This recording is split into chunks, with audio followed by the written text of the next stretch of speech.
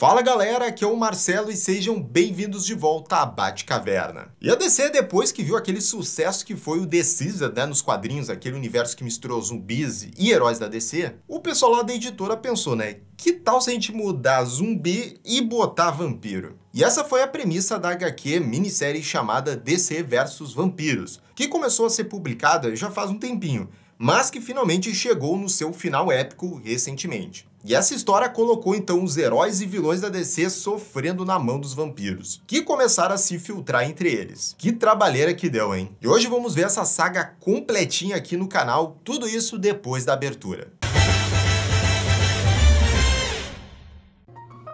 Parte 1, O Infiltrado.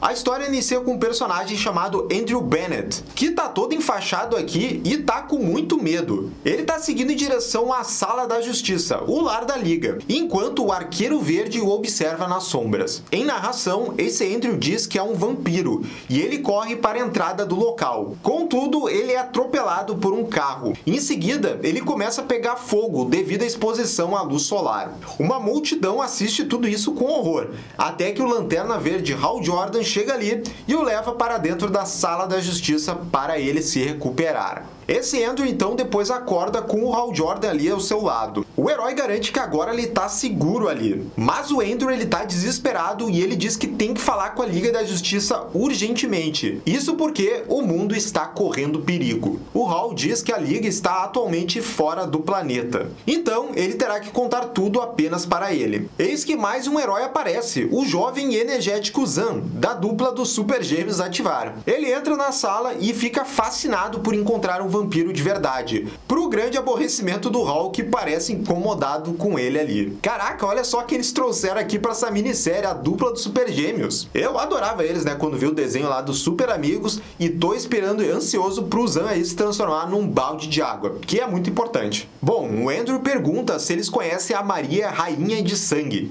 Ela é a rainha do culto dos vampiros da Lua Sangrenta. E antes era namorada do Andrew, mas agora é uma rival dele. Ele conta que ela foi assassinada. E com a Mary morta, agora não há ninguém mais para manter a paz entre humanos e vampiros. E as duas raças estão à beira de uma guerra. O Andrew explica que está procurando pelo assassino de Mary há semanas. E a sua busca o levou ao quartel-general da Legião do Mal. Ele entrou furtivamente lá. Contudo, ele acaba encontrando toda a legião massacrada. Visualmente, todos tinham sido mortos por vampiros. Ele fala ali que a legião sendo derrotada é o começo de uma revolução e que esse pequeno incidente faz parte de um plano maior. No lar da legião, ele encontra planos dos vampiros para o extermínio de toda a raça humana, envolvendo todos os heróis da Terra também. O Andrew então encontra o Lex Luthor gravemente ferido. Os vampiros o haviam deixado vivo para torturá-lo. O Lex vê que pode confiar no Andrew e dá ao vampiro uma seringa contendo seu sangue e um endereço para entregá-la. Então, pede ao Andrew que o mate. O último desejo do Lex era que o mundo soubesse que todos teriam que agradecer tudo ao Lex como seu salvador. Ele mata o Luthor e, evitando outros membros da legião que tinham sido convertidos em vampiros, incluindo Charada, que é morto na fuga, o Andrew foge da base dos vilões. Bom, então só para esclarecer, né, todos os principais vilões então da DC já foram pegos aí por esse culto de vampiros. E então depois dessa fuga, o Andrew então correu, né, por semanas até chegar à Sala da Justiça, né, que foi o que a gente viu ali no começo da história. Nesse caminho, o Andrew se moveu durante o dia com medo de que os vampiros estivessem se aproximando dele. Ele avisa que os vampiros têm agentes em todos os lugares e diz que os heróis da liga eram as únicas pessoas em quem ele podia confiar. O Hal e o Zem ficam perplexos com a história do Andrew. E quando o Hal pergunta se ele tem alguma prova ou contou para mais alguém sobre isso, o Andrew responde que não. O Zan então diz que vai contatar os outros membros da liga, mas o Hal Jordan imediatamente prende o Super Gêmeo usando o seu anel. E percebemos, junto com Andrew, que o Hal Jordan mentiu quando disse que a liga estava fora do planeta. E, gente, esses vampiros realmente tinham agentes em todos os lugares. Os caras pegaram até o Lanterna Verde. O Andrew chama o Hal de traidor, mas este responde que os humanos traíram os vampiros primeiro, pegando o que era por direito da raça deles. O Lanterna revela que ele evoluiu, e enquanto conversa com Andrew, ele começa a assassinar o Zan cruelmente, triturando em um liquidificador gerado pelo seu anel. É, vendo essa cena com um liquidificador ali triturando o pobre Zan, ele estava triturando também as memórias inocentes lá, vendo os super amigos e os super gêmeos lá. Obrigado por isso, história. E pior, ele ainda bebe o sangue do pobre Zan depois. O Hal revela que os seus poderes de Lanterna Verde lhe concedem imunidade à luz do sol. E então, mata também o Andrew, projetando um sol com o poder do seu anel. O Hal então liga para uma pessoa misteriosa, que ele chama de Mestre, e o informa que matou o Andrew e se desfez dos restos do Zan. O Aquaman entra naquela sala assim que o Hal termina de limpar tudo, para informá-lo que o Batman convocou uma reunião. Nesse papo, o Aquaman observa que ninguém vê o Arqueiro Verde há dias. É, só lembrando que o arqueiro até apareceu lá no comecinho de uma forma bem suspeita. Será que ele também virou um vampiro? Mas agora é o momento de ver o Batman aí nessa história e ver o que, que ele tá aprontando. Naquela noite, o Batman chega na Batcaverna e o Alfred está esperando por ele. O mordomo revela que um homem nervoso e todo enfaixado havia passado na mansão Wayne mais cedo e estava procurando falar com ele. O Alfred entrega para o Batman um bilhete daquele homem, que era do Andrew Bennett e segurando uma seringa, ele diz que o homem também queria que o Batman soubesse que Lex Luthor pode ter acabado de salvar o mundo. O Andrew então enganou direitinho ali o Lanterna Verde Hal Jordan Vampiro e mentiu, né, que ele foi direto para a Sala da Justiça, porque o Lex Luthor então endereçou essa carta pro Batman. Mas falando aí desse Lanterna Verde, a história corta para ele depois derrotando um poderoso necromante que é rival lá dos vampiros. Após fazer mais esse serviço, ele ouve uma voz, a voz de seu mestre. Esse mestre diz ao Hal que há um problema, Andrew Bennett. Embora o Hal o tenha matado, o Andrew estava fugindo por uma semana, e o mestre do Hal acredita que se deve presumir que ele contou a alguém sobre os planos dos vampiros para o extermínio da raça humana.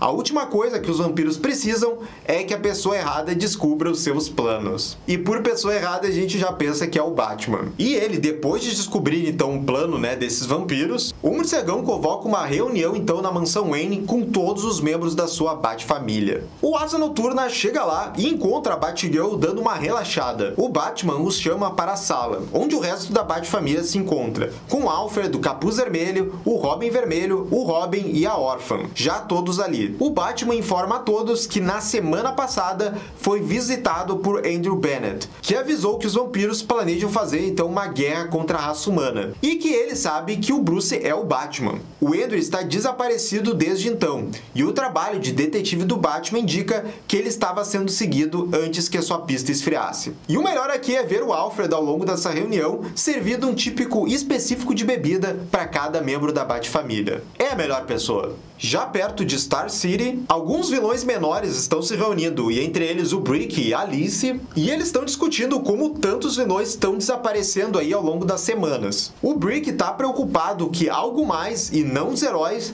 os estejam caçando, que é uma possibilidade que os outros acabam descartando. O grupo é repetidamente interrompido pelo Arqueiro Verde, que diz que um deles é um vampiro. Os vilões acham que ele tá louco, mas o Oliver fala que pode parecer absurdo, mas que esses seres sobrenaturais vêm se filtrando entre a comunidade meta-humana há bastante tempo. Ele então pergunta ao vilão Everyman se ele não tá certo mesmo. E os outros começam a rir, mas o Everyman de repente revela sua natureza vampírica e ataca o Arqueiro Verde, que o mata sem pestanejar. Antes de partir, o Arqueiro Verde diz a esse grupo de vilões para eles começarem a se proteger. E olha, eu devo dizer que eu gostei desse Arqueiro Verde caçador de vampiros. E isso até dá um bom nome de série e filme. Arqueiro Verde caça vampiros. Mas bem, de volta à mansão Wayne, todos os heróis ficam perplexos aí em saber que esse vampiro sabe a identidade do Batman e também desse mega plano vampirístico. A Batgirl pensa se o Bruce poderia estar brincando, algo raro de acontecer, mas o Batman garante a ela que não é, contando para a Bat-família do Monge Louco, um vampiro sanguinário que foi um dos seus primeiros inimigos. O morcegão também menciona a contraparte feminina do monge, Dala, de quem o Asa Noturna se lembra dos seus tempos como Robin. O Batman não tem certeza se o Monge Louco é esse vampiro que derrubou a Maria Rainha de Sangue, mas nota que esse novo manda-chuva vampiresco ameaça genuinamente toda a raça humana. E olha, eu adorei como eles conseguiram trazer essa referência lá, que é o do Monge Louco, que foi um dos primeiros, assim, grandes vilões do Batman. Que antes eles só enfrentavam os mafiosos aqui a colar, depois veio o Hugo Strange e teve esse Monge Louco que realmente foi bastante marcante na época. E tinha esse lado vampiro dele mesmo. O Batman diz que o melhor que a Bat-família pode fazer agora é deduzir quem os vampiros irão atrás. Os vampiros podem começar pelos meta-humanos e derrotar os vilões primeiro. A Batgirl observa que eles também terão como alvo médios e telepatas, que podem descobrir os seus planos. Enquanto Dick e o Tim apontam que eles também irão atrás de mágicos e usuários de luz solar. O Damian, por fim, diz que os vampiros provavelmente converteriam os heróis mais jovens primeiro, o que significa o grupo das aves de rapina, dos foragidos ou até dos titãs que já podem estar comprometidos. A Liga da Justiça seria mais difícil de se infiltrar, pelo nível de experiência dos seus integrantes, mas os vampiros teriam como alvo os heróis mais jovens primeiro. E poxa, essa parte aí da Bat-família trabalhando para deduzir qual que vai ser o plano dos vampiros, eu achei muito legal. Que não é sempre que isso acontece, né? Geralmente eles ficam debatendo ou falando de coisas triviais ou ficam brigando, mas aqui é legal como cada um vai colocando ali, né, a sua experiência e vai trazendo um ponto ali para ajudar no plano. Quero mais momentos assim da Bat-família. E na sala da justiça, a super gêmea, a Jana, tá inconsolável. O Zan tá desaparecido há dias e a Jana não consegue mais senti-lo. O Hall, vampiro, na maior cara de pau, se oferece para ajudá-la a encontrá-lo, mas ela foge aos prantos depois que o gladiador dourado sugere que o Zan está cansado de ser sentido pela sua irmã. A Liga só olha com muita desaprovação essa fala do gladiador. Voltando para a reunião da Bat-família, o Batman revela que misturou as bebidas de todos com água benta e os reuniu nessa sala super iluminada para garantir que nenhum de seus aliados era um vampiro. E já que ninguém pegou fogo, o Batman finalmente permite que eles desçam para a Batcaverna, onde ele faz com que todos segurem um crucifixo como um teste final. E todos passam sem problemas. E assim, né, galera? É o Batman sendo o Batman, né? E é ali na Batcaverna que ele revela para todos os seus novos Bat-equipamentos para caçar vampiros. E para ainda mais surpresa de todos, eles são todos letais. O Asa Noturna fica surpreso com a mudança repentina nos métodos, mas o Batman aponta que uma vez que os vampiros são mortos-vivos, eles não vão estar matando seus inimigos tecnicamente. O que faz o Damian ficar felizão aqui. Mais tarde, o Alfred traz o jantar pro Batman. O Alfred até bebe o chá com água benta para mostrar ao Batman que ele continua humano. Ele pergunta por que, que o Bruce não contou a todos sobre o frasco de sangue do Lex Luthor. E o Batman diz que fazer isso agora seria muito arriscado, considerando que toda a raça humana está em jogo. E galera, a gente está chegando aqui no final dessas primeiras edições e foi aqui no finalzinho que a história aguardou um momento impactante. Isso porque os heróis da DC vão sofrer mais uma baixa significativa. À noite, o Hal Jordan se encontra com o Flash e Barry Allen em uma praia. Os dois se sentam e o Hal conta ao Barry que algo ruim está para acontecer. O Barry garante ao Hal que confia nele e que se algo de ruim acontecer, ele sempre vai estar do seu lado. O Hal Jordan então diz que algo bom aconteceu com ele. E então, prende o Flash com o seu anel. O Lanterna revela que queria transformar o Barry num vampiro, mas o seu mestre diz que os poderes do Flash o teriam tornado inadequado para ser um vampiro. O Flash teria de beber o sangue de todo o planeta para sustentar sua super velocidade. O Barry diz que esse não é o verdadeiro Hal, mas o Hal Jordan discorda e fala que é sim. O Lanterna então mata o Flash brutalmente, quebrando seu pescoço e queimando seu corpo. E quando o Hal desvia o olhar, uma lágrima de sangue cai dos seus olhos. Ele lamenta e diz que por ele, ele teria desejado conquistar o mundo ao lado do Flash,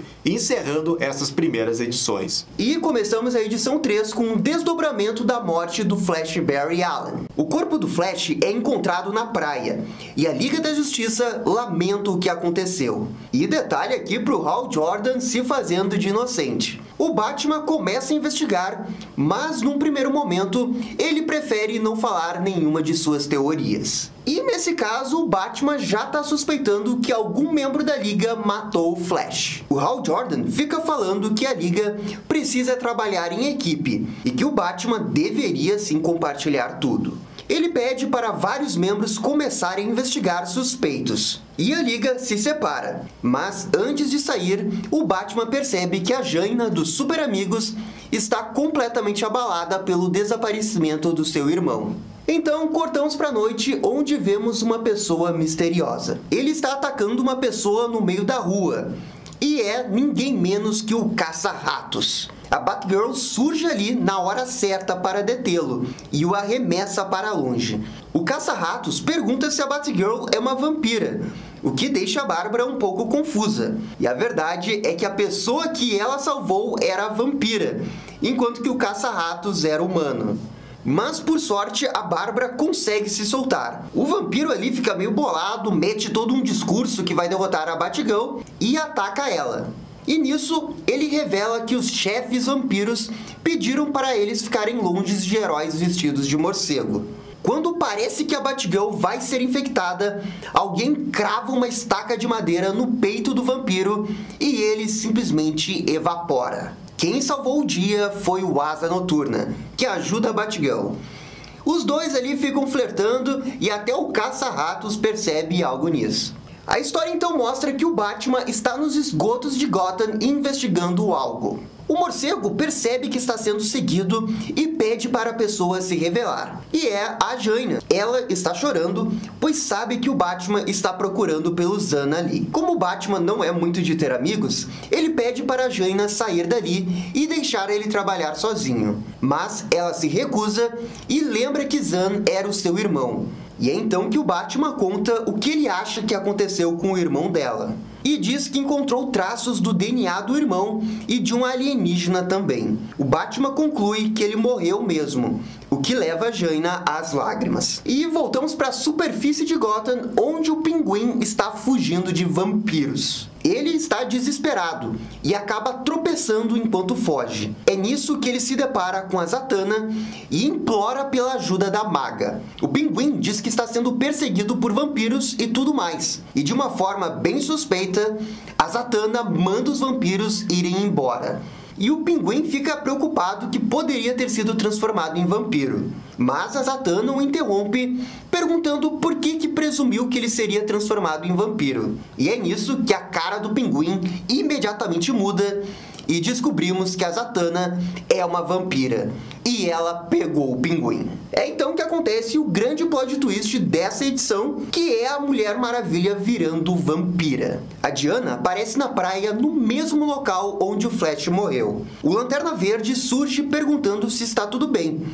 mas a Dinah diz que nada está bem. Ela percebe que o Hal Jordan aceitou muito facilmente a morte do Barry e que isso não é de seu perfil. Então, ela usa o laço da verdade para forçar o Lanterna a revelar tudo. E o Hal Jordan revela que ele é vampiro e que sim, ele matou o Barry Allen.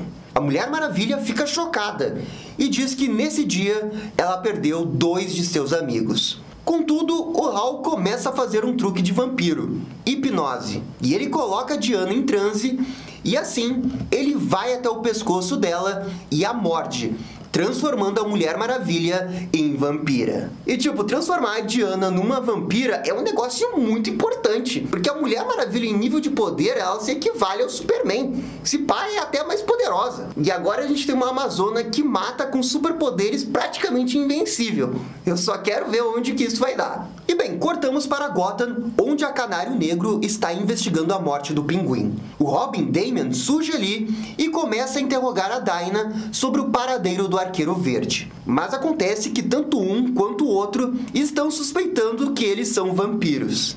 E assim, eles começam a brigar no meio da rua para descobrir a verdade. E durante a luta, a Dinah retira o sangue do Robin para testar. E ela diz que se o Damon de fato não for um vampiro, é para encontrá-la mais tarde. E então ela foge dali. E lembrando que nesse momento nem a Dinah nem o Oliver são vampiros. Contudo, eles estão separados do grupo da Liga porque eles estão investigando por conta própria esse negócio dos vampiros. E o Oliver está suspeitando que o Batman é um vampiro. Voltamos para o Batman e a Jaina nos esgotos. Ela diz que está sentindo algo debaixo da água e o Batman diz que irá verificar. E ao sair dali, ele diz que não encontrou nada além do anel do Super Gêmeo. A Jaina chora finalmente por perceber que o seu irmão realmente morreu. E logo em seguida é tomada por uma fúria para saber quem de fato matou ele. E o Batman diz que ainda não sabe, mas quem o matou usou algum tipo de poder de luz. E isso tudo vai levando o Batman à conclusão que quem matou o Flash foi o Lanterna Verde Hal Jordan. A Canário Negro chega num posto abandonado que é a base do Arqueiro Verde e encontra o Roy. A equipe dos arqueiros está reunida ali para conseguir mais informações sobre os vampiros. O Oliver está convencido que o Batman é um vampiro e ele está tentando reunir provas. Mas por enquanto não tem nada. E então a história corta para a sala da justiça. O Aquaman, o Aço, o Caçador de Marte, todos reportam que não tem novidades sobre a investigação do Barry. E é nisso que surge a Mulher Maravilha. E ela diz na maior mentira que encontrou evidências que o Batman matou o Flash. E todos ficam chocados terminando a edição número 3. E agora vamos para a edição número 4, onde a gente tem grandes revelações também. Em Londres, John Constantine está curtindo a noite num bar e recebe a visita da Zatanna. E claramente ela está com intenções de transformar o John em vampiro. Mas o mago favorito da DC tem o preparo. E ele, de propósito, deixa sua guarda aberta para Zatanna e usa um feitiço para prender ela. A verdade é que ele sabia que a Z era uma vampira. E o Constantine diz que não vai matar a Zatanna, já que ela já está morta mas que quer conversar com ela. E nesse momento a história corta, deixando subentendido que talvez o John Constantine queira virar vampiro. Mas será que é isso mesmo? Já já a gente descobre. De qualquer jeito, voltamos para a Batcaverna o Bruce está realizando uma investigação com sangue de vampiro, mas ele percebe algo de errado. O Bruce aciona um protocolo de segurança e desliga todas as luzes da Batcaverna, com exceção do Batcomputador. Temos essa página sensacional do Batman nas sombras e ele levando uma flecha do Arqueiro Verde. Contudo, o Oliver atingiu o busto do Robin com a máscara do Batman. E acontece que ele foi enganado pelo Bruce, que aparece atrás dele com uma estaca de madeira. E cortamos para velha Gotham, onde a Batgirl continua investigando e chega nesse prédio de hotel. Ao olhar debaixo da cama, ela descobre essa poeira, que ela mesma diz ser ancestral. E quando o Asa Noturna aparece ali, os dois continuam flertando. E olha, gente, é só um palpite, mas eu tô achando que a Batgirl ou o Asa Noturna vão acabar virando vampiro. Estão focando muito a história neles, mas é só um palpite. Mas o ponto importante é que esse quarto provavelmente pertence a Mary Rainha Vampira, na qual os heróis acreditam ser a grande chefona dos vampiros nesse momento. A Bárbara revela que a vampira está ali em segredo e que eles vão descobrir o porquê. E nisso voltamos para Batcaverna, onde está acontecendo a luta do Batman com o Arqueiro Verde. Cada um acha que o adversário é um vampiro e eles ficam se insultando de uma forma engraçada.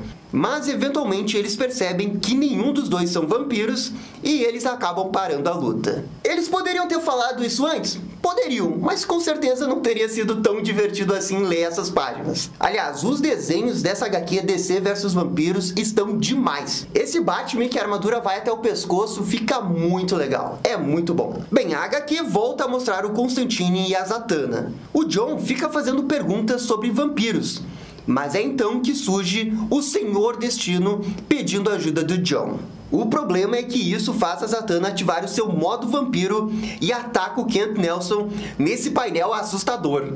O John consegue paralisar a Z utilizando o seu feitiço, mas o Senhor Destino não quer saber de vampiro e simplesmente mata ela usando um feitiço de luz. A Zatanna se desintegra e deixa o Constantine furioso. Mas o Kent Nelson argumenta que o destino do mundo depende disso. E o Constantine, de forma debochada, diz que o destino do mundo sempre depende de alguma coisa. Ah, são essas tiradas que me fazem realmente amar o John Constantine. Ele é demais.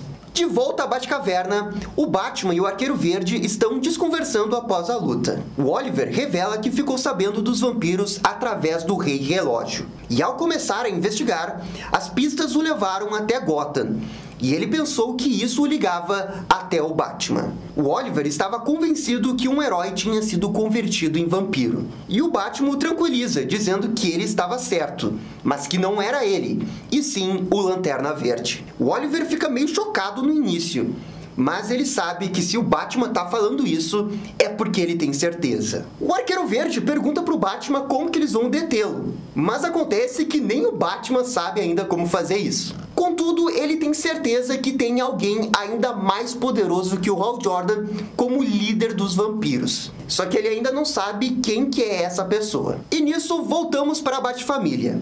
O Capuz Vermelho e a Órfã estão trabalhando juntos matando alguns vampiros. É então que do nada surge o Gorilla Grodd vampiro e ele ataca os dois. O vilão pega o Jason na beirada do prédio, mas por sorte a Cassandra Cain chega com uma estaca de madeira e atinge em cheio o Grodd. O problema é que isso não é o suficiente para matá-lo, e o Grodd se transforma num morcego e consegue fugir dali. O Jason, no final, sobrevive graças à órfã.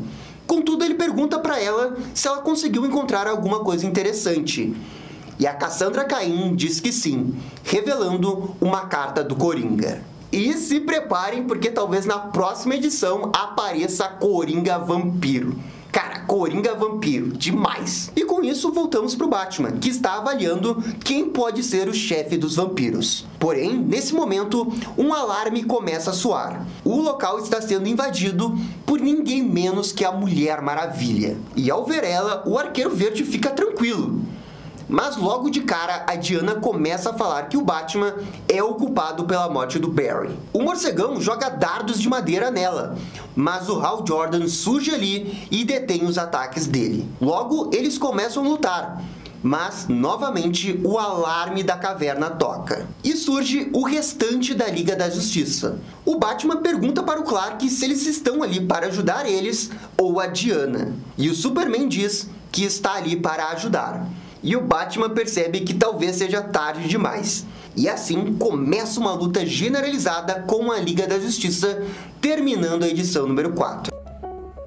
Parte 2 Liga Vampira a edição número 5 da saga inicia com a famosa Força Tarefa X, que é o Esquadrão Suicida, em uma missão para capturar o Coringa. Só que ao chegar no esconderijo dele, a equipe se depara com vários capangas mortos e vem que algo está muito errado ali. Essa história do Esquadrão Suicida é uma das histórias em paralelo que vão acontecer nessa edição. A outra coisa que está acontecendo é os heróis da Liga da Justiça se enfrentando na Batcaverna. O Batman e o Arqueiro Verde estão enfrentando toda a Liga da Justiça. O Wally pergunta qual que é a estratégia e o Batman só diz para ele atirar flechas. A Diana, que é uma vampira, disfarça falando para o Batman se entregar pelo que ele fez pro Barry, enquanto que o Arqueiro Verde enfrenta o Cyborg e atira flechas nele. Já o Superman, que não é um vampiro, pede para o Batman se entregar. Mas o morcegão tem o seu preparo e aciona um gás de kryptonita que estava dentro da boca dele. Gente, esse preparo do Batman não tem limites. Ele desconfia até do Superman. Só que assim, o Superman não é um vampiro, mas o Batman suspeita que ele seja. E o problema é que esse julgamento errado em cima do Superman vai pagar caro lá na frente. Voltando para o Esquadrão Suicida, o pistoleiro vê as vítimas e constata que todas elas não têm sangue. A Arlequina acha isso bizarro, até mesmo para o Coringa. Enquanto que o Capitão Boomerang fala que o vilão virou um vampiro. Pelo comunicador, Amanda Waller diz para eles continuarem indo atrás do Coringa. E quando o pistoleiro pergunta se eles não vão precisar de armas especiais para matar os vampiros, o Aranha Negra não vê esse tubarão rei vampiro aparecendo atrás dele e ele simplesmente rasga o aranha pela metade. E toda essa cena acaba sendo um pouco cômica, porque antes dele morrer, ele fala que adoraria matar um vampiro, que isso seria uma coisa muito boa. E um segundo depois, ele é morto por um vampiro. Ah, doce ironia. Enfim, o esquadrão atira no tubarão rei e nisso eles observam que o Savant e o Parasita também viraram vampiros. E eles estão numa péssima situação. Voltando para a Liga da Justiça, o Cyborg tenta acalmar os ânimos de todo mundo ali. E ele pede para o Batman se entregar para que possam curá-lo. O Batman não quer colaborar e fala que o Vic está do lado errado. O Cyborg tenta dar várias opções para o morcegão, mas ele acaba declinando todas elas. Por fim, o Bruce diz que ele tem provas no seu computador enquanto que o Lanterna fica toda hora tentando iniciar uma briga. Mas claro que tudo isso na verdade era um plano do Batman. Quando o Cyborg chega até o Batcomputador, isso inicia um mega apagão, não só na Batcaverna, mas sim em toda Gotham. O Oliver briga com o Bruce porque o Cyborg acabou ficando nocauteado com isso e ele talvez fosse a única pessoa que pudesse ajudá-los. A história então mostra que toda a Bat-família em Gotham acaba recebendo a mensagem do apagão e percebe que alguma coisa aconteceu na Batcaverna. Então, o Lanterna Verde usa os seus poderes para tentar achar o Batman no meio da escuridão. Mas quando ele o vê, o Homem-Morcego está com essas maletas que quando ele abre, uma energia amarela atinge o Hall. O Batman então explica para o Lanterna Verde que essa energia amarela é um negócio que ele mesmo criou para um dia poder deter o Lanterna Verde. E ora, ora, ora, funcionou! O Oliver então dispara uma flecha no Lanterna, mas ele acaba errando o coração do herói. Isso meio que gera uma discussão com o Batman. E o Oliver dispara uma outra flecha, só que dessa vez é interrompida pelo Caçador de Marte. O Jones está ali para conversar, mas o Batman já chega chegando com uma pira de fogo e ele faz o marciano recuar até um antigo transportador para a base da Liga e pede para que o herói retorne mais tarde. Em seguida, o Batman e o arqueiro enfrentam a mulher gavião e o Oliver comenta que depois de tudo isso, eles vão ter que pedir desculpa para os heróis, porque é uma grande confusão. E bem, nisso voltamos pro Esquadrão Suicida. O pistoleiro avisa que eles estão sem comunicação com Amanda Waller e que a Arlequina e o Boomerang estão quase sendo mordidos pelos vampiros. É então que chega ali a Batgirl e consegue matar alguns vampiros, salvando o Esquadrão Suicida. E com isso, voltamos para a Liga.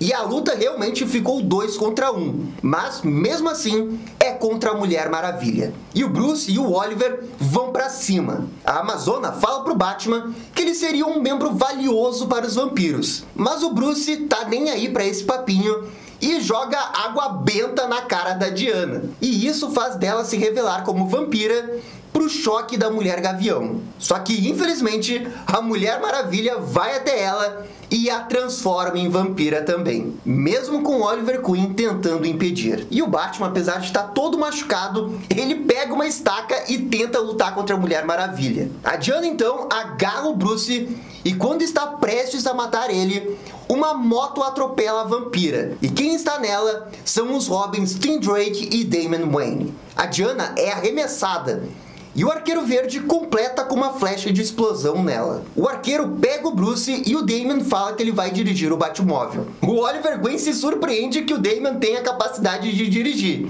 E dentro do Batmóvel, o Batman pergunta para o Damon se o Oliver e o Tim conseguiram escapar da Batcaverna. O Robin Damon confirma que sim, e assim, o morcegão ativa um protocolo de segurança que simplesmente destrói a Batcaverna e a mansão Wayne. No melhor estilo Arcanite, né? Que ele também ativa um protocolo e destrói a mansão Wayne e a Batcaverna. Só que assim, o plano do Batman não dá muito certo porque nenhum dos vampiros de fato é morto ali. E o que acontece de fato é que os vampiros acabam se aproveitando da situação. Isso porque a Mulher Maravilha e o Lanterna Verde aparecem vivos ali e para infelicidade do Batman, eles veem que o Superman está vivo, mas está totalmente vulnerável devido ao ataque de Kryptonita que o Batman soltou nele antes. E os dois vampiros brilham seus olhinhos quando veem que o azulão tá dando sopa ali. E aqui termina a edição número 5 e a gente já vai direto para a edição 6, que é onde realmente o negócio pega fogo e muita gente morre. O Batman e a Batfamília se reagrupam. O Alfred aparece ali e são e salvo, ainda bem. Todos os demais também estão bem.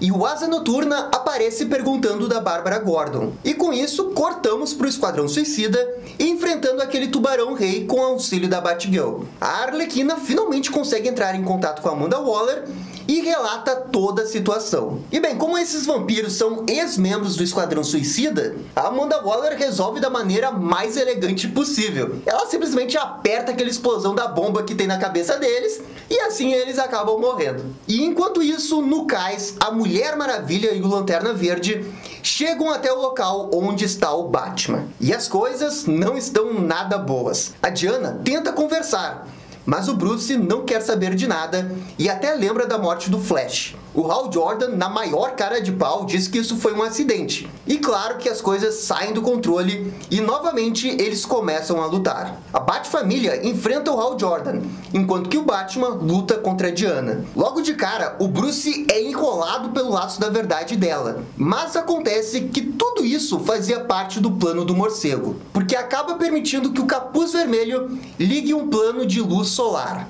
A Diana, com isso, começa a queimar e pede pro Hal Jordan apagar aquela luz. E é nesse momento que a Cassandra Cain se aproveita da situação e consegue aprisionar a Mulher Maravilha no seu próprio laço. E é esse momento que a HQ fica totalmente insana com uns desenhos maravilhosos. A Diana fica totalmente fora de controle, mas o laço a detém. O problema é que tem uma lanterna verde que é imune a esse negócio do sol. E ele chega ali usando o anel para prender todos os membros da Bat-família. E no final, ele fica contando vantagem, dizendo que acabou. Mas sem ele perceber, o Alfred aparece com um machado banhado em energia amarela e corta o braço do Hall. E gente, essa daqui me pegou completamente desprevenido. Que fique registrado na história que esse foi o dia que o Alfred ganhou do Lanterna Verde Hal Jordan. Já ganhou do Superman do Injustice e agora ganha do Hal Jordan no DC versus Vampiros. Esse é o meu Alfred. O Batman agradece ao Alfred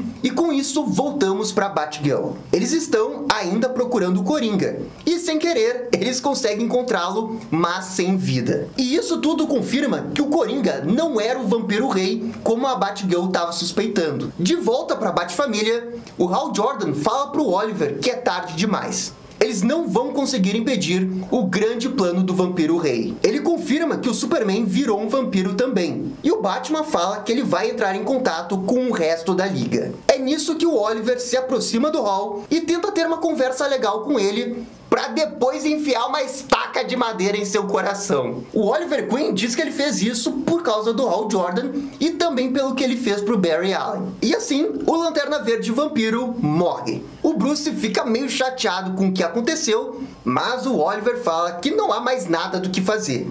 Ele briga de novo com o Batman e acaba saindo dali. E é nesse momento que a Batgirl entra em contato com o Batman. E ela relata todo esse negócio que aconteceu com o Coringa com o Esquadrão Suicida. A Batgirl suspeita que alguém enganou toda a Batfamília, porque ela pensou que o Coringa fosse o Vampiro Rei por causa das pistas que eles foram cobrindo ao longo das semanas. Logo, alguém manipulou essas pistas e isso só poderia ser um trabalho interno. E é por isso que a Bárbara Gordon acha que tem um membro da Bat-família que é um vampiro. O resto da Bat-família pergunta pro Batman se está tudo bem.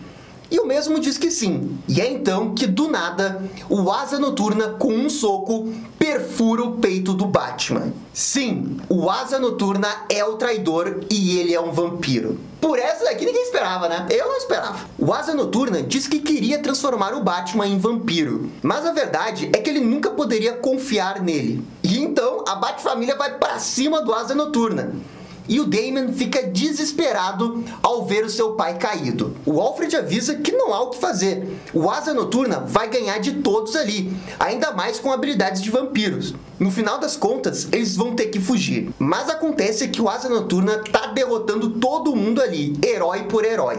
E o Dick Grayson revela que, na verdade, ele não é um vampiro comum.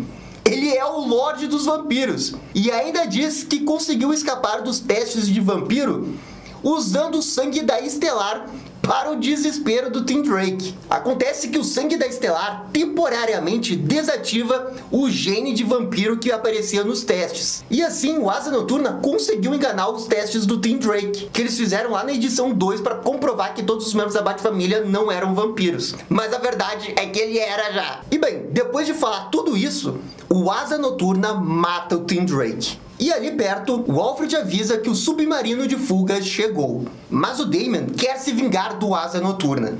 Ele tá possuído de raiva e vai para cima do vilão. O Asa Noturna então consegue capturá-lo e o beija no pescoço, deixando implícito que ele vai virar um vampiro também. É nesse momento que o Capuz Vermelho se apresenta para enfrentar o Asa Noturna. Temos aqui uma linda página de sequência de luta e quando Jason Todd consegue colocar o Dick Grayson num canto, ele é surpreendido pela Mulher Maravilha, que o transforma em vampiro. Caraca, velho, vai, vai todo mundo morrer nessa edição. Asa Noturna vampiro, Jason Todd vampiro, Tim Drake morreu, Damon Wayne possivelmente vampiro, Batman possivelmente morto. Caraca, velho, que coisa insana. A Mulher Maravilha quer matar o Jason Todd, mas o Dick Grayson diz que não. Ele vai ser importante na missão deles. E quando eles iriam transformá-lo em vampiro, o Jason manda um sinal pro Arqueiro Verde, que dispara uma flecha de muito longe e acaba matando o Jason Todd. E isso impede que o Jason Todd vire um vampiro e também acaba permitindo que o Arqueiro Verde conseguisse fugir. No epílogo da história, o Asa Noturna executa o seu grande plano, com o Superman destruindo o Capitólio, o Nuclear destruindo florestas e os vampiros dominando cidades. Enfim, o Asa Noturna diz que o mundo agora é deles. Terminando essa edição. Parte 3 Caçadores. E depois que rolou essa grande reviravolta, né, na saga Q, com os vampiros praticamente dominando todo mundo, e a revelação do Dick Grayson como esse vampiro rei, DC versus Vampiros depois trouxe duas edições one-shots únicas, né, focadas no Damian e outra na Arlequina que exploravam mais desse universo e o que estava acontecendo nessa parte. Começando por essa história focada no Damian, estamos em Gotham e o Caçador de Marte, ainda não transformado em vampiro, tenta tirar pessoas da cidade. Contudo, ele é descoberto pelo Damian, que já sai tocando fogo no herói, e se revela como um vampiro que caça heróis ainda vivos. Ele atua como um caçador de recompensas para a coalizão dos vampiros. O Máscara Negra é um membro dessa organização e fica impressionado com o trabalho do garoto. O Damian insiste que ele quer ver o Rei Asa Noturna, Contudo, depois, quando chega o Senhor Incrível, ele explica que se ele quiser a atenção do rei, ele precisa capturar os inimigos deles, vivos, e nessa tela nós vemos vários alvos. Mas tem uma reviravolta aqui. O Marciano, na verdade, ele tá vivo, e o Demon ajuda uma rede de resistência em Gotham, que tem o Alfred como membro também. O Demon é sim um vampiro. Ele até aparece bebendo sangue aqui, mas ele dá abrigo nesses subterrâneos para heróis ainda vivos e trabalha como agente duplo para a organização dos vampiros. O objetivo maior então do Demian é realmente chegar próximo ali do Asa Noturna que ele quer matar ele. Mas para isso, como foi dito antes ali, ele precisa levar algum alvo muito importante para ter atenção e poder chegar até o Asa Noturna. Daí o Damian tem a ideia de levar o pobre Alfred até a coalizão. Isso, claro, chama a atenção, e o garoto é convocado até o Dick. Ele fica agora na antiga cobertura do Bruce. Assim que chegam, o Dick faz umas perguntas pro Alfred que só o verdadeiro saberia. Isso não adianta muito, porque na verdade era o caçador de Marte, e ele lê mentes. Quando ele e o Damian vão atacar o Dick, o vampiro revela que tinha aliados ali. Nós vemos o Victor Zaz, o Gorilla Grodd e a Moça Maravilha todos transformados. Os dois heróis têm uma luta difícil, o Dick fica tentando descobrir por que, que o Damian fez esse ataque tão falho. O caçador de Marte cai do prédio enquanto luta. Já o Damian avança sobre o Dick e diz que até quando o Asa Noturna era humano, ele não o admirava. O garoto conta que sabia que ele seria melhor que o Dick quando crescesse. A luta continua, e então Damon revela que o motivo que ele está ali é bem básico. É porque o Asa Noturna matou seu pai, né? Mas esse rei vampiro aí, Asa Noturna, tinha uma carta na manga. Ele sabia há bastante tempo que o Damon era um agente duplo. E ele o monitorava. E ele estava monitorando o garoto todo esse tempo. Ele até mostra no telão que já tem o Alfred e outros heróis capturados. Ele explica que em breve todos irão morrer, mas talvez se o Demian abandonar essa luta, ele consiga salvá-los. O Robin sai correndo e tem esses quadros maneiros dessa luta no corredor com o Demian matando vários vampiros. E depois nessa página, também lindíssima, nós vemos ele saltando pelas escadas do prédio para ir descendo os andares. Quando ele chega no térreo, ele mata mais vampiros, inclusive o Máscara Negra. E no subterrâneo, só o Alfred restou vivo e vemos a Fogo Vampira, que foi a responsável pela matança. O Damian se atira sobre ela e é severamente queimado, mas o Robin consegue cravar a sua adaga no peito da Fogo. Depois, num gesto lindo do Alfred, ele oferece seu sangue para recuperar o Damian, que bebe um pouco, mas ele consegue segurar o seu instinto vampiro. O Dick aparece em seguida, e ele primeiramente oferece transformar o Alfred para ter a vida eterna. O Mordomo recusa e pergunta o que, que o Dick quer afinal. E o Rei Vampiro, surpreendentemente, ele diz que somente quer que o Alfred cuide do Damian. E o Mordomo acha que tem pegadinha aí. O Dick acha que o Damian, no futuro, será a chave para um eventual mundo de humanos e vampiros. Isso porque, mesmo o Damian sendo vampiro, ele ainda tem compaixão. E mesmo desconfiado muito do Dick, o Alfred consegue sair então com o Damian da cidade enquanto os dois se despedem. Já na outra história, agora focada na Arlequina, aqui é dito que ela e a Mulher Gato agora governam o submundo de Gotham, e ela ficou muito rica com isso. Ela fornece armas e outros itens para quem combater os vampiros.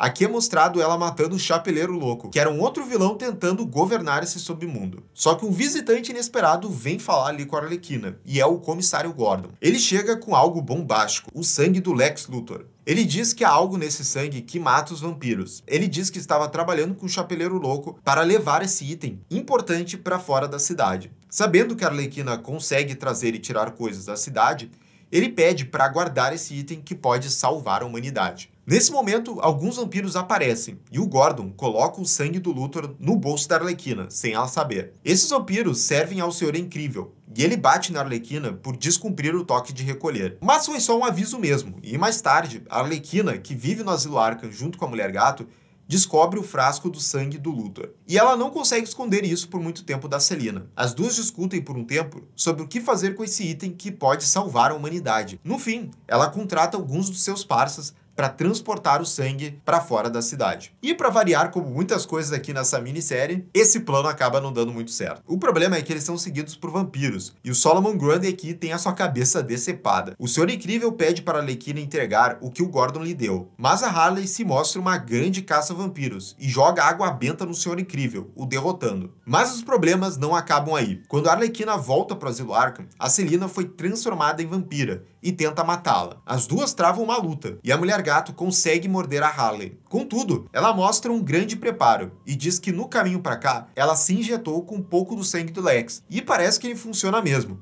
pois ela não se transforma em vampira. Ainda mais, a Celina pega fogo por ter sugado esse sangue. Temos então esse último quadro da Arlequina saindo do asilo e prometendo voltar com ajuda para livrar Gotham dos vampiros. E bem, essas foram duas HQs então que só tiveram uma edição única. Mas a DC não é boba e não parou por aí. Porque enquanto rolava então a HQ principal DC vs Vampiros, teve também uma outra HQ auxiliar, que aí teve mais de uma edição. E ela mostrava mais também desse universo, o que estava acontecendo enquanto rolava a saga principal, e ela se chama DC vs Vampiros Guerra Total. E na cronologia dessa saga, a edição número 1 dessa HQ do Guerra Total, ela inicia aqui. Essa saga foca mais num grupo de sobreviventes que tem um exterminador como personagem principal. Primeiro, ele vai com outro grupo até umas montanhas onde resta o último poço de Lázaro. Ele tá querendo trazer o Batman de volta para liderar uma rebelião contra o Rei Vampiro Asa Noturna. Só que tudo dá errado, pois o Azrael Vampiro aparece com um grupo dele e eles acabam perdendo o corpo do Batman. Mas algo inusitado acontece. O Jean Paul cai no poço de Lázaro e aí ele deixa de ser vampiro. Isso desperta o interesse do Slade, que o leva de volta para o esconderijo do seu grupo. Lá o Homem Morcego confirma mesmo que o Jean Paul tá curado, mas mal dá tempo depois para Azrael conhecer alguns membros dessa resistência que ainda tem o Constantine e a Mary Marvel, por exemplo, quando no final dessa edição acontece aquele mega ataque global dos vampiros e aí quando eles conquistam o mundo inteiro. Parte 4 Mundo Vampiro e depois, então, a história avança no tempo e vai detalhando como os vampiros conquistaram realmente né, o mundo depois que eles derrotaram naquela batalha a Bat-Família. Até porque os vampiros conseguiram transformar o Superman. E não só isso. Depois, eles bloquearam a luz solar na Terra, transformando a Terra num pesadelo. É dito que rolou depois uma última resistência dos heróis contra os vampiros, mas não foi o bastante. O coitado do Superboy até foi rasgado ao meio nessa luta. Os poucos que sobreviveram se esconderam, e depois que as lutas terminaram, os vampiros começaram a governar o planeta. Meses se passaram, e no presente, vemos esses heróis sobreviventes tentando chegar numa cidade segura que é liderado pelo diretor Bones. O Adam Strange está ali e está enviando um chamado pedindo ajuda para o espaço. Eles acabam parando nesse bloqueio. E quando uma cobra chama a atenção do Adam, eles veem que na verdade era o Homem Borracha Vampiro. Daí se inicia um massacre dessa galera do comboio, porque vários heróis vampiros fizeram uma armadilha inclusive com a Mulher Maravilha aparecendo. E vários desses heróis desse comboio acabam morrendo: o Pacificador, a Ravena, e acaba sobrando só ali o diretor Bones. E os vampiros até tentam interrogar ele para saber onde é que fica esse lugar que tem esses heróis remanescentes. Mas uma figura aparece ali e salva o Bones. Essa figura usa uma estaca no nuclear que desencadeia uma grande explosão, varrendo os vampiros dali. E é mostrado que esse matador de vampiros é a Jânia, a gêmea dos Super Gêmeos. E só a cabeça lá do diretor Bones restou, mas ele ainda tá vivo, e ele se alia com a Jânia. A caminho desse lugar seguro, a Jana conta sua história, de como foi uma sobrevivente nesse apocalipse. E quando eles chegam no local, infelizmente o Bones morre. E a Jana não sabe exatamente onde é que fica esse refúgio. E quem recepciona ela ali é o Crocodilo. Ele pede uma senha, mas o Bones não disse nada disso para Jana. Mas percebendo a situação ali em que a Jana tá, o crocodilo aceita ela. E aí, de uma garrafa, aparece um outro herói, o Electron. E ele já pergunta pra Jana onde é que estão todos aqueles outros heróis que estavam ali no comboio. E aí a Jana tem que dar as más notícias para ele. Só que tem um detalhe. Dentro do carro de onde a Jana e o Bones estavam, o Electron revela que a Supergirl estava no porta-malas. Toda aquela missão de antes era para trazer a cara até esse grupo. E ela tá muito fraca, já que né, o planeta não recebe mais luz solar. Mesmo assim, esses últimos heróis acham que a cara no futuro pode virar um novo símbolo de esperança. O Electron leva a Jana e a cara para dentro da garrafa, e é revelado que dentro dela tá a cidade de Kandor. E ali ficam os poucos heróis que ainda não se transformaram em vampiros. E quando a cara chega lá, os heróis ficam olhando por alguns segundos. Uma discussão depois irrompe sobre que decisão eles devem tomar. A Batgirl acha mais prudente ir atrás dos líderes vampiros. Já o seu destino menciona que eles deveriam trazer o Sol de volta para a Terra. E essa discussão ela rola por bastante tempo. Mas a Batgirl realmente está querendo entrar em Gotham para ir lá e matar o, né, o Rei Vampiro Asa Noturna. E para isso, o Constantine menciona uma pessoa que pode ajudar eles a entrar na cidade, já que ela estava em Gotham e ela consegue sair e entrar da cidade. E essa pessoa é a Arlequina. Contudo, no momento, ela está sendo cobaia para experimentos de alguns vilões cientistas. Entre eles, o Dr. Porco e Hugo Strange. Enquanto isso, o trio do Constantine, o Damon e o Victor Zaz, chegam na Casa de Mistérios, que é o esconderijo para os usuários de magia. Ali dentro, vemos que o Senhor Destino, o Espectro e o Vingador Fantasma estão tentando com as suas magias fazer um vampiro voltar ao normal. No entanto, esse vampiro acaba explodindo. O Constantine ainda tem um plano junto com o Senhor Destino. E na garrafa de Candor, a Canário houve uma conversa, e é do Constantine com o arqueiro. Isso porque o tal plano do John envolve o Oliver usar certos artefatos. E o casal tem uma briga, mas fica muito claro que ambos têm os seus planos. O arqueiro vai até a Smallville para tentar libertar vários humanos que estão presos em fazendas lá, que viraram prisioneiros dos vampiros, enquanto o Canário vai ajudar então a Batgirl a entrar em Gotham e matar o Asa Noturna. De volta à Casa dos Mistérios, os usuários de magia são surpreendidos por alguém batendo na porta do local. E quem está ali é o Jason Blood e uma trupe de aliados vampiros que falam que vão fazê-los esquecer algo. Em seguida, tem uma cena do Asa Noturna se alimentando do sangue da Estelar, enquanto a Bárbara vai chegando de mansinho para matar ele. No entanto, essa cena aí que vai ser de violência vira um romance, com Dick conseguindo seduzir a Bárbara. Mas aí cortamos para ela acordando. Isso tudo foi um pesadelo, que só reforça o desejo dela de matar o Asa Noturna. Só que ela nota que tem alguém no seu quarto, e quando ela liga a luz, é mostrado esse Constantine todo machucado e queimado. Detalhe é que o John não sabe o que aconteceu com ele, muito menos como ele foi parar no quarto da Bárbara mas que só pode ter sido obra de um usuário de magia. Depois disso, Constantine revela o local onde é que a Arlequina está, naquele laboratório que ela foi capturada. E a Bárbara vai lá e ataca com tudo. Ela luta contra aqueles vilões cientistas e consegue libertar a Arlequina, que se vinga aqui matando Hugo Strange e depois elas fogem dali. Voltando à cidade de Kandor, se forma um trio que irá para Gotham, da Canário, da Batgirl e da Arlequina. E junto com elas, o Frank também. Em uma outra missão, a Supergirl e o Aço estão indo para a Austrália atrás de um rumor que pode recuperar os poderes dela. Nesse trajeto, o Arraia Negra, que está junto com eles, os ajuda quando o grupo de atlantianos zumbis os ataca. Eles defendem a cara bravamente, mas no fim ela é capturada. Só que aí rola algo bizarro,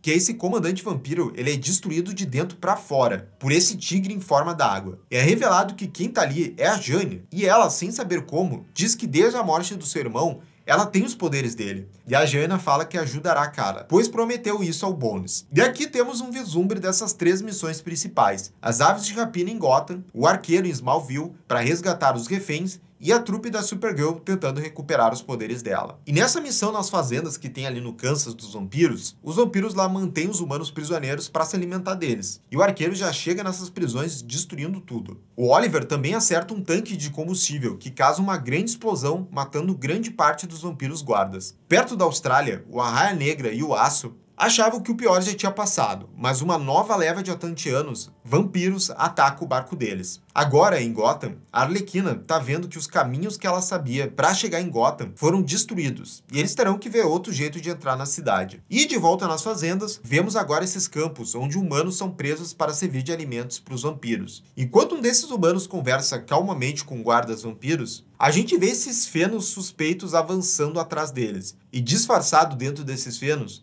o arqueiro mata esses guardas. E aquele cara que estava falando então com os guardas é revelado que na verdade era o bandoleiro. E o Oliver diz que vai voltar ali para salvar mais humanos, mas que primeiro ele vai atrás de vampiros mais importantes. Na costa da Austrália, a coisa tá feia, porque esses atlantianos são mais poderosos que os anteriores. Isso porque eles são a guarda real do Aquaman. E sim, o homem vampiro em pessoa aparece ali. Ele convoca uma grande onda que acerta com tudo os heróis. Mas o Arraia chama a briga só para ele, enquanto o Aquaman revela que ele sabe que a pessoa usando a armadura do Arraia não é o verdadeiro Arraia. E daí é mostrado que quem está por trás da armadura é a Mera. O Aquaman se choca, mas a Mera o ofende, dizendo que o Arthur não é mais a pessoa que ela conheceu, e sim que ele é um monstro agora. Nas fazendas, o arqueiro tá no modo badass e tá matando geral de guardas nessa prisão. Esses generais, inclusive, liberam uma horda de vampiros para cima do arqueiro. E ele se mantém bem na luta. Mas aí o grande vampiro que o Oliver mencionou antes se revela, e é o Gavião Negro. E na luta aquática que tá rolando lá na Austrália, a Mera e o Aquaman somem. E o grupo da Supergirl supõe que ela deve estar tá ganhando tempo para eles escaparem. Mas eles acham que talvez ela não volte mais. Só que, infelizmente, o Aquaman volta à superfície e até tenta negociar com a cara para que ela se alie ao Superman e ganhe os seus poderes de volta. A Jana tenta deter o Arthur, se transformando em um urso de gelo. Contudo, o Aquaman facilmente destrói e aparentemente mata a gêmea. Depois vem o Aço, que acerta o Aquaman, mas não parece surtir muito efeito. Contudo, o Aço fala que só estava ganhando tempo. Então, a Mera reaparece e acerta com tudo o Arthur. Tem uma grande explosão e nessa confusão a cara se separa dos outros. E pior, ela fica presa numa parte do navio e vai sendo arrastada para o fundo do oceano. Voltando a Gotham, as heroínas pretendem chegar na cidade via mar. Quando o Damian aparece, ele garante que essa ideia delas não vai dar certo, mas que ele sabe um jeito de entrar na cidade. O garoto diz que, embora ele seja um vampiro, ele é a melhor alternativa delas para acabar com os vampiros. E aqui nós damos uma pausa né, na HQ principal do DC vs Vampiros para voltar para aquela outra HQ né, do DC vs Vampiros Guerra Total, onde tínhamos aquele grupo lá do Exterminador, do Azrael e do Constantine. E nós vamos retornar então quando né, os vampiros tinham acabado de tomar o planeta e essa resistência aqui teve que sobreviver. Assim como outros heróis, esse grupo também teve de ficar mudando de lugar a toda hora, enquanto os vampiros dominavam o mundo. Até que o Constantine, em projeção astral, os leva até o esconderijo da Liga dos Assassinos, que é comandado pela Talia e o Alfred, e onde também está o corpo do Constantine. O Exterminador e o Constantine revelam como Jean Paul era um vampiro antes, e que ele tem informações importantes, como de um tal feiticeiro do tempo que ajuda os vampiros a criar humanos em fazendas prisões na Flórida. E eles acham que tem um poço de Lázaro por lá. A calmaria, claro, já passa quando a Mulher Maravilha os acha nesse esconderijo. O Azrael, enquanto isso, mostra que, embora ele tenha voltado a ser humano, os seus devaneios de controle mental da Ordem de Sandumar permanecem. E aí uma grande brigaria e lutaria acontece nesses esgotos, né, onde está o esconderijo da Liga. Tem até a Mary Marvel dando um mega soco aqui na Mulher Maravilha depois que esta assassina o pobre Jimmy Olsen que estava nesse grupo. A Talia, junto com Alfred, deixa os outros heróis, através de uma passagem secreta, mas sem antes ela poder dizer ao John onde fica aquele último poço de Lázaro. Os heróis depois escapam também, e o John fala pro Exterminador que o poço tá abaixo do Museu do Flash em Central City. O Constantine fica para enfrentar a Diana, e ele, fazendo um plano bem ardiloso com o desafiador, consegue estourar a tubulação da parede onde eles estão, e com isso o Constantine escapa, e depois é pego pelo Senhor Destino. Naquela prisão na Flórida, onde são cultivados humanos, nós vemos um tal de Barão, que controla o Shazam Billy Batson. E é para lá que então esse grupo do exterminador tá indo, até essa fazenda prisão que fica na Flórida. E no caminho eles vão vendo toda a destruição, né, que aconteceu nos últimos tempos. Perto da prisão, a Batwoman encontra eles e diz que o Damian enviou ela ali. Ela prova que tá mesmo trabalhando com Robin e até mostra onde fica a tal fazenda. Ela veio ali para libertar a Estelar. E como o grupo do Slade vai para lá, eles resolvem se ajudar. Um grupo vai atrás da Estelar, já outro atrás desse feiticeiro mágico que eles acham que pode acabar com as cinzas da das nuvens e assim trazer o sol de novo. Quando eles encontram a Corey, ela fala mais do Barão e que ele usa poderes cósmicos, mas a energia ultravioleta o queima.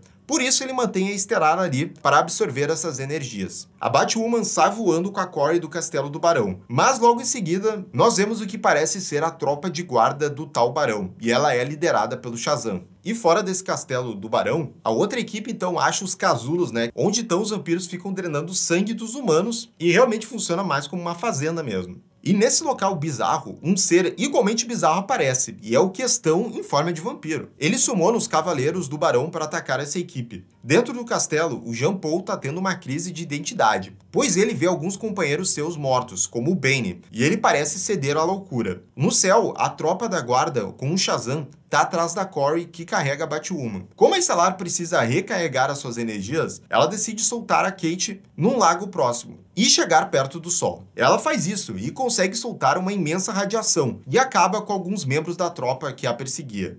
Naquela fazenda de sangue, a luta contra os cavaleiros está no fim, e a Mary revela aos seus amigos que ela tinha sido mordida antes pela Mulher Maravilha. Mas tem um enjambre mágico aqui, porque a Mary revela que quando ela usa lá o poder de Shazam dela, ela meio que se cura, né, e deixa de ser vampira. Mas quando ela volta para a forma humana normal dela, ela é a vampira. Mas os aliados da Mary, o Gladiador Dourado e o Midnighter, conseguem virar o jogo e matar os cavaleiros que restavam. Quando tudo parecia certo ali, o Midnighter, quando vai falar com a Mary, tem o seu corpo atravessado pelo Questão. A Mary, depois com raiva, derrota o Questão, e o Midnighter até diz que consegue se recuperar através das suas habilidades. O grupo todo volta a se reencontrar, e acima deles, a Mary trava uma batalha de magia contra o que parece ser o tal feiticeiro lá do tempo. Só que no meio dessa batalha, o Jean Paul, que já estava bem louco das ideias, corta a cabeça do feiticeiro. Próximo dali é mostrado o Barão falando com o Billy, que tinha levado aquela luz da Estelar. O Barão tenta motivar ele e diz que eles são seres poderosos e que eles, Super-Homem, devem abraçar esse poder, mostrando misteriosamente então essa logo do Superman que tá no seu peito.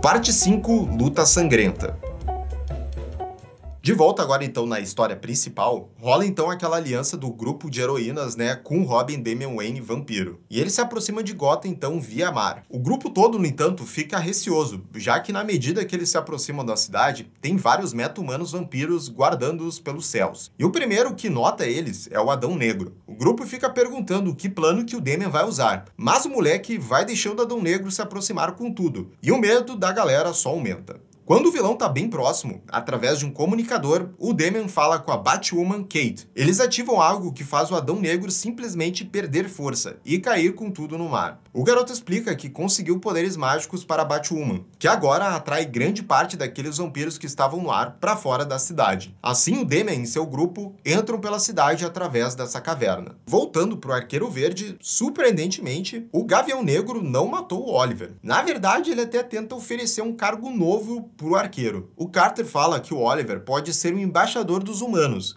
representar eles perante os vampiros, quando na verdade o que os vilões querem é que o arqueiro acalme os ânimos dos humanos e façam eles serem obedientes aos seus mestres, no caso, os vampiros. O arqueiro, óbvio, jamais aceitaria algo assim, e o Gavião Negro, enfurecido, quebra o seu arco. Nos esgotos de Gotham, os heróis dão de cara com a punchline vampira. O Damian diz que não tá com ela, e quando a Arlequina parte para cima, ela revela que ela não trabalha para o Rei Vampiro Asa Noturna. Ao contrário, ela comanda agora um mercado negro ali nos esgotos da cidade. Que na real quem fazia isso antes era a Arlequina. Agora, na missão do grupo da Supergirl, nós vemos o Aço trazendo ela do oceano e conseguindo trazer ela de volta à vida, já que ela estava se afogando no fundo do mar. Quem também está viva é a Jaina, e ela estava dentro da Supergirl em forma de água, transferindo oxigênio para ela. E é isso que eu chamo aí de trabalho em equipe. Mas quem não trabalha muito em equipe não é lá a Punchline em Gotham. Que embora ela não seja aliada do Asa Noturna, ela e os seus capangas colocam ali o grupo da Batgirl em celas. Depois a Punchline fala com a Bárbara e revela que ela quer sempre tentar tirar vantagem quando puder dos dois lados. Ela diz que não vai pedir eles de matar a Asa Noturna, mas fala que ela quer que a Batgirl mate alguém primeiro e alguém do grupo dela. A Bárbara se recusa, enfurecendo a Punchline. Ela sai falando que vai oferecer esse acordo aos outros membros do grupo da Bárbara. E aí ela lembra que o Damian faz parte desse grupo. Nas fazendas de Smallville, o Oliver fica fazendo uma pergunta estranha, que é de onde ele pode arranjar qualquer tipo de líquido para o bandoleiro, que também tá confuso. O arqueiro mostra o pingente que ele tem, e aí o bandoleiro faz xixi nele. E bem, isso fica melhor explicado quando o Oliver revela que esse pingente é um artefato mágico, e ele servia para summonar o monstro do pântano, que quando ele chega ali, ele fala pro arqueiro que eles nunca mais vão falar disso outra vez. É, mas assim, não querendo defender muito aí o arqueiro verde, o cara teve que improvisar também, né? Indo lá de novo pros heróis que estão presos agora pela punchline, a Arlequina consegue aí ludibriar um guarda que vem falar com ela na cela da prisão de onde ela tá. Ela usa suas roupas aqui para fazer esse bonecão fake, e ela nocauteia o capanga da punchline. Só que isso foi desnecessário, porque o grupo dela estava sendo libertado pela vilã. Isso porque o Damian fez algum acordo com a Punchline, e ele mostra que matou duas caras a pedido dela. E por isso a Punchline os liberou da prisão. Assim, esse grupo continua no seu objetivo. E no outro grupo, o da Supergirl, eles estão andando nesse deserto e se deparam com essa imensa torre. Aqui pode estar a chave para recuperar os poderes da Kryptoniana. E em Gotham, tá rolando uma discussão da Bárbara com o Damian, onde ela diz diz que não confia no garoto. O Demi acha que ela não tem plano nenhum, mas a Batgirl tem sim o seu truque na manga, quando ela mostra o Bat-sinal. Ela o liga e nessa página nós vemos que vários integrantes ainda vivos da Bat-família estavam esperando por isso. Contudo, isso também alertou também os vilões vampiros na cidade. A Batgirl fala pro grupo que, embora isso seja um risco mesmo, é algo simbólico e que tinha que ter sido feito. Mas o bate-sinal também não é só essa coisa show-off e simbólica. Porque logo em seguida, outros bate-sinais também são ligados que estavam lá em outras partes da cidade. Os outros aliados da Bárbara estavam orquestrando esse plano há meses, e agora todos esses sinais são legados em Gotham. O Demian fica impressionado, enquanto a Bárbara narra que vai tomar tudo que os vampiros roubaram. Ela ainda revela que essas luzes dos sinais são ultravioletas e são danosas aos vampiros, e vemos mais dos heróis usando-as em Gotham. Muitos vampiros aparecem para deter o grupo da Batgirl, mas era isso mesmo que ela estava esperando. Enquanto vemos todos os sinais convergindo para a cobertura do Asa Noturna, a Bárbara diz que o Dick sabe que ela não irá travar essa luta sozinha. E aqui nesse desfecho aí que vai começar a batalha final na HQ principal, a gente volta agora então para as duas últimas HQs do DC versus Vampiros Guerra Total, onde tinha acontecido aquela traição lá do Azrael com o grupo do Exterminador, e também tinha aquele vilão misterioso chamado Barão que usava lá logo do Superman. O grupo do Exterminador já aparece depois chegando em Central City, onde deve estar o Poço de Lázaro, bem abaixo do Museu do Flash. É revelado que o Azrael não aguentou seus devaneios e preferiu se tornar vampiro de vez para não ter de escutar mais as ordens de São do Mar. Mas ele faz um último sacrifício, impedindo os outros vampiros de pegar o grupo dele e dando tempo para eles fugirem. No Museu do Flash, a Mary abre um buracão no centro dele e eles encontram o poço. Ali o Slade coloca o corpo do feiticeiro que controla o clima para revivê-lo e aí então eles poderem usar os seus poderes para trazer o sol de volta. O problema é que ele volta nessa forma super poderosa e até dá uma bela mordida no exterminador. E assim, é uma senhora mordida, pois é preciso todo o grupo para tirar o feiticeiro dele. A Mary em seguida usa seus poderes para cicatrizar os ferimentos do Slade, o que parece que o impede de virar vampiro. E essa opção então de usar esse feiticeiro para mudar o clima lá e poder trazer o sol de volta, parece que essa opção aí já tá descartada. E para piorar, como sempre pode, ali mesmo no Museu do Flash, o Shazam Billy Batson encontra o grupo. A Mary decide encarar o Billy só ela, enquanto os outros escapam. Enquanto vê o tanto de neve que tem na cidade e achar isso curioso, eles decidem ir atrás de onde está vindo esse fenômeno. A batalha entre a família Shazam é brutal. O Billy parece estar em vantagem na luta. E quando ele oferece a sua irmã para voltar à fazenda do barão para servi-lo, a Mary agarra o Billy e grita Shazam. Um raio atinge os dois em cheio, e ambos parecem morrer. De volta aos outros sobreviventes, eles seguiram a neve e encontraram um Capitão Frio que parece que ele mesmo se colocou num bloco imenso de gelo. Só que perto dali, eles veem a Mary na forma humana e ela diz que fez algo horrível e quer que eles a matem. Sobre o Capitão Frio, a história mostra um ano antes que o Snart ele foi mordido por um vampiro e ele, nesse ímpeto, matou quase todos seus amigos e até alguns conhecidos mesmo, de família. Impulsionado pela culpa, remorso e um novo senso de ação, o Snart sabia que não poderia parar o processo que estava tomando conta do seu corpo. Ele saiu então para o parque e apontou a sua arma para si mesmo, se congelando e mantendo-se então em animação suspensa, até ele esperava que uma cura pudesse ser encontrada. De volta no presente, o Capitão Frio explica para a equipe dos heróis tudo isso, e ele estima que ele pode ter dias ou só algumas horas antes de se transformar. Enquanto isso, Slade se senta com a Mary, recusando-se em matá-la. Ela insiste que sim, já que ela diz que matou o Billy. Então, Constantine aparece na sua forma astral, e para surpresa da equipe, que considerava que ele tinha morrido após a luta com a Mulher Maravilha. Nas ruínas do Museu Flash, o Barão encontra o cadáver do Billy e jura vingá-lo. E é nesse momento aqui então que o Constantine fica sabendo dos fracassos em toda essa equipe, deles não conseguirem trazer aquele tal feiticeiro do tempo. Mas ele diz que a Supergirl talvez vai precisar então de sol lá na equipe da Austrália. E o Capitão Gelo poderia talvez ali congelar as nuvens e dar tempo suficiente para o sol chegar e ajudar a Supergirl. O Snart não tem tanta certeza se ele conseguirá fazer isso. Mas se conseguirem levá-lo até a Supergirl, ele pode tentar. De repente, o Barão voa do céu e os ataca, determinado a fazê-los pagar por suas ações. O computador tático do Midnighter confirma a preocupação do Gladiador Dourado, que eles não têm nenhuma chance contra ele. No entanto, eles tentam de qualquer maneira. Enquanto o Exterminador e o Gladiador lutam contra o Barão, o Midnighter prepara uma estaca enquanto avança contra o vampiro, alegando que tudo que eles tinham que fazer era mantê-lo desequilibrado e acertá-lo com força com essa estaca. Infelizmente, a estaca não causa nenhum dano ao vilão, pois ele revela que a Estelar deu a ele uma pequena explosão de luz solar durante aquela fuga dela. E com isso, ele rasga o Midnighter ao meio. É, não pode faltar aí Fatality nessa história. Em resposta a isso, o gladiador, querendo vingar o seu amigo, começa a criar pequenos campos de força dentro da cabeça do barão. Mas esse ataque dura pouco, pois o barão usa uma visão de calor no gladiador, matando, e também entregando a real identidade dele. Com o exterminador sendo o único lutador em pé contra o barão, o Snart se prepara para intervir, mas o Constantino segura e o lembra da sua importância para a guerra e que se ele morrer, a Supergirl não conseguirá recuperar os seus poderes. Mas a Mary se transforma e parte para a luta. Os dois se enfrentam e a Mary diz ao Barão que ele deveria ter salvo todos eles. Ele diz que ele sempre teve que ser o único a salvar o mundo aquele que teve que suportar tudo. E com isso ele se prepara para matar a Mary, só antes de ser mortalmente esfaqueado no peito pelo Exterminador. E finalmente lembrando quem ele é, que é Clark Kent e não Barão, ele começa a chamar a sua família antes que ele dá o seu último suspiro e morre. E sim, galera, já tava na cara ali, né, quando apareceu a visão de calor, mas esse barão aí era o Superman vampiro. E aqui nessa história então é revelado que esse Superman então foi cuidar daquela fazenda lá de sangue depois que ele se transformou em vampiro. E por isso que ele até não aparece depois na HQ principal. Com o perigo passado, o Slade aparentemente sucumbe aos ferimentos nos braços da Mary. O Snart diz a ela que eles precisam ir, já que ele não sabe quanto tempo vai demorar para que ele possa se transformar novamente em vampiro. Constantine diz a Mary para ir encontrá-lo e o resto dos heróis que estão Austrália.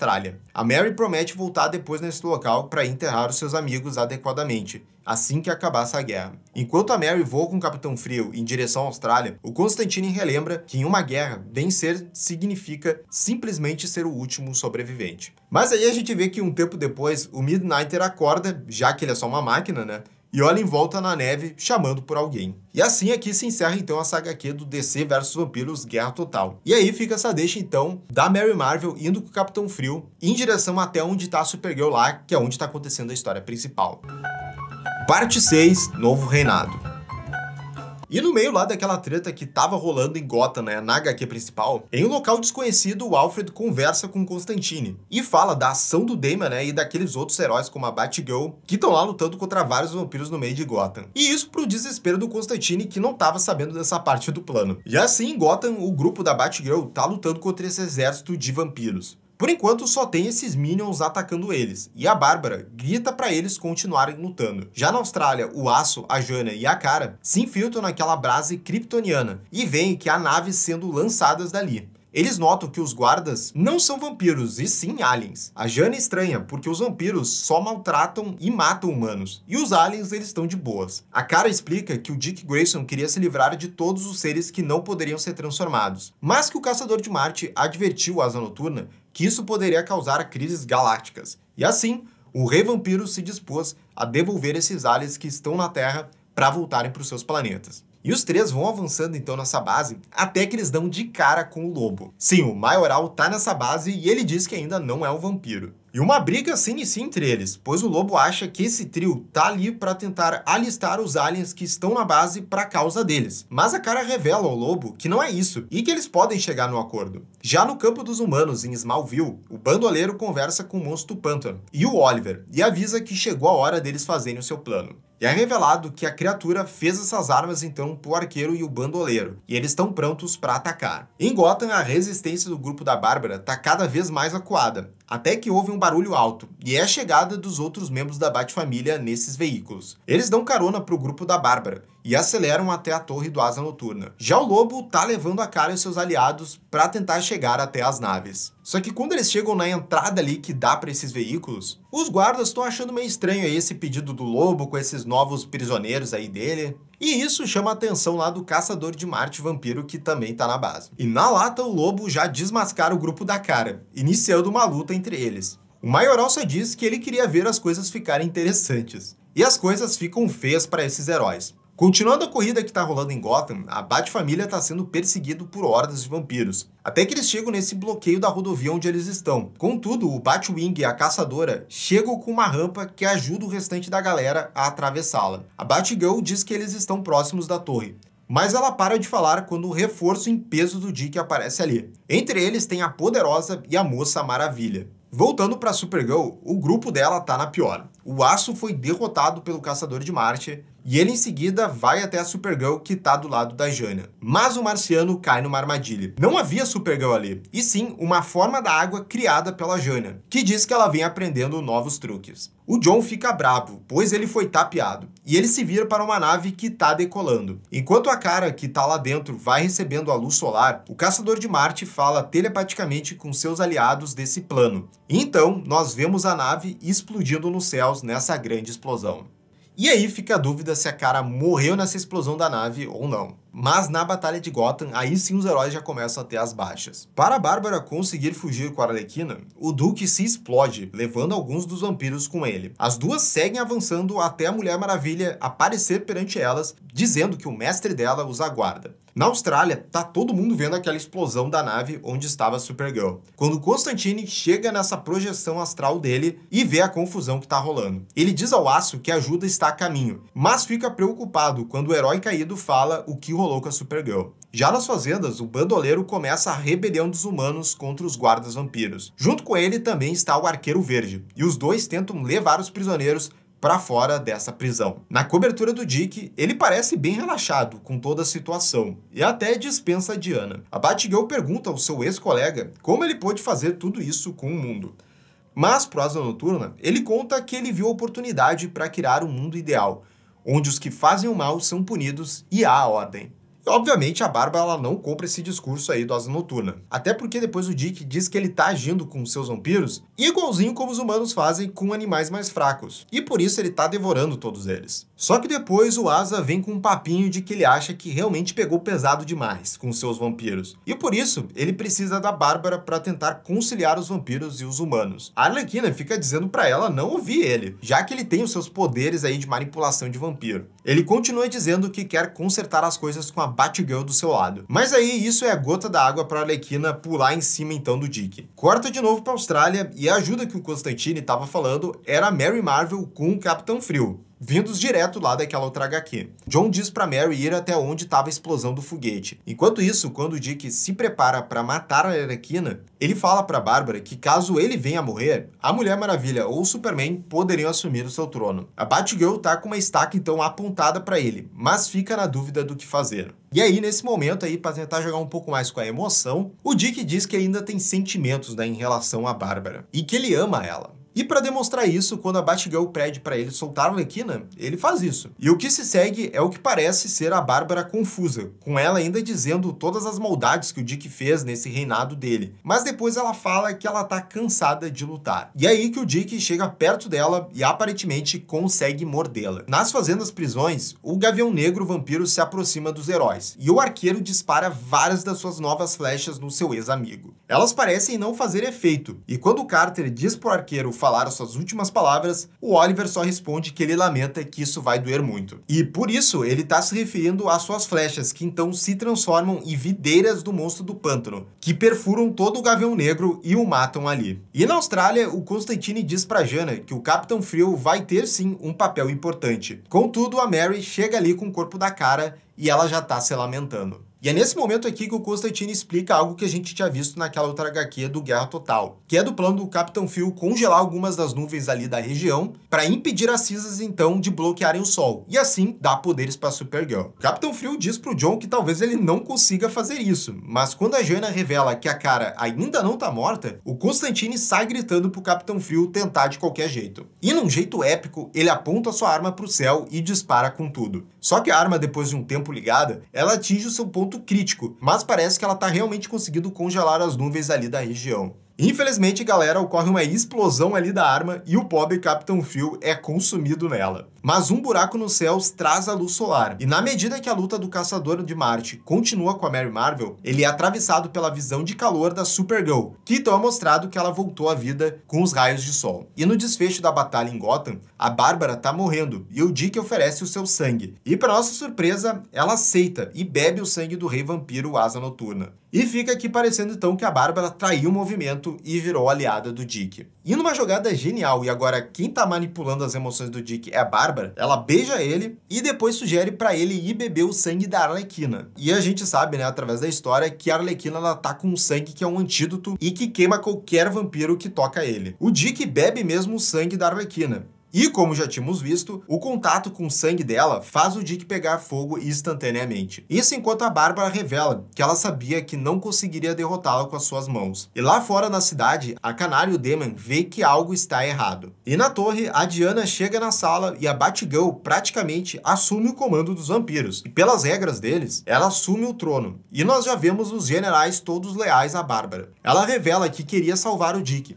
mas viu que ele não estava disposto a sacrificar tudo para pará-la. Depois de uma narração da Batgirl, vemos os restantes dos heróis ainda vivos e ainda preparando planos, enquanto a nova rainha dos vampiros, Bárbara Gordon, se declara soberana e que ela não cometerá os mesmos erros do Dick. E nesse final bem apressado aqui, nós encerramos vendo sobreviventes e a nova rainha vampira. E aqui a gente chega no final aí, né, da HQ do DC versus vampiros. E galera, como vocês puderam ver, realmente é um final bem aberto, né? Até o momento não teve uma sequência ainda anunciada dessa HQ, mas fica bem mesmo com essa cara aí de que talvez eles planejaram para uma sequência. Mas de fato, assim, é um final bem apressado e algumas pontas realmente ficaram soltas. Mas assim, no geral, uma saga que foi bem interessante para ver nessas reviravoltas e ver o universo DC assim sendo consumido por esses vampiros. Mas agora quero saber de vocês, o que, que vocês acharam aí no resumo total dessa saga? Vocês querem uma continuação? Gostaram desse final? Deixe suas opiniões aqui nos comentários. E já sabem também, né? Se inscreve aqui no canal e clica no sininho de notificação para saber absolutamente tudo sobre o Batman. E se quiser apoiar ainda mais o canal, nós temos duas campanhas de financiamento coletivo, no Padrim e também no Clube de Canais aqui no YouTube. Tem o link dos dois projetos aqui na descrição. Tem vários extras bem legais. E é isso, galera. Até a próxima. Tchau, tchau.